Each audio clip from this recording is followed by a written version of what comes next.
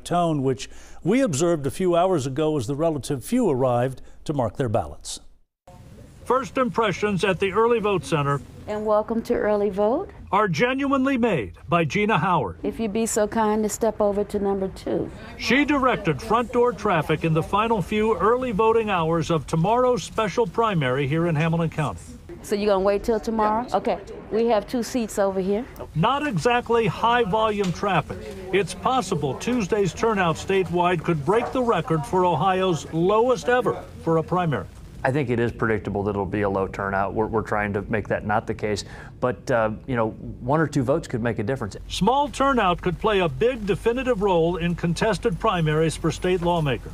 The relative few who bother to vote are also deciding who gets on the state central committee, which doesn't exactly stir much juice for the average voter. But it speaks to the direction of the political party you prefer. I was explaining it to my neighbor in the driveway this morning, right? And I said, it's this it's the board of directors for your state party. Those who work elections want your experience to be meaningful and as easy as possible. If you just wait here a second, and we'll get, would you like a chair? Yes. Okay, we'll get that. Gina Howard retired after 30 years at the board. She's back as a volunteer for this special primary, telling me she loves it. After all the confusion, controversy, legal challenges, and court rulings about making the maps, the last impression today was like the first. Thank you for coming in and have a wonderful rest of the day. Have a good day. You too. And because it takes about 100 days of preparation to run an election and four to five weeks afterwards to certify the results, this has been a nonstop year of work for county election staff. And right after this one's put to bed tomorrow night, they must get ready for early voting that starts October 12th for the fall midterm election.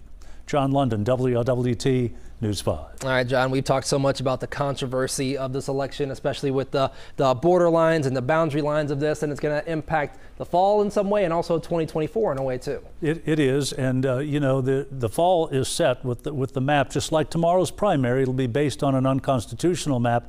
But after that, a new Supreme Court justice will be elected in November, and a lot of eyes will be on that to watch how it could impact more map making attempts ahead of 2024. So, got a lot to look forward to. so much to look forward to, John. I know, know you'll be on top of it for us. We do appreciate it.